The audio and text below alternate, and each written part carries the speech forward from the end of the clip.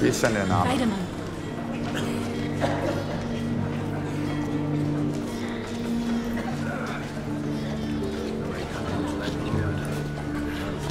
Schau da nicht hin.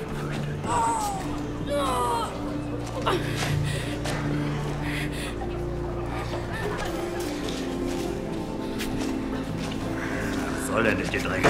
Hinten anstellen, Fräulein. Bitte. Haben Sie nicht gehört? Kommen Sie, Fräulein. Na, was soll denn das jetzt? Dr. Ehrlich, Wie hießen Sie denn? Platz machen. Ida. Ida.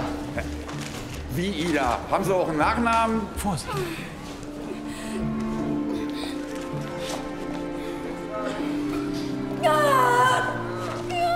Sie hat Fieber, Schmerzen im linken Unterleib, Verdacht auf eine akute Appendizitis.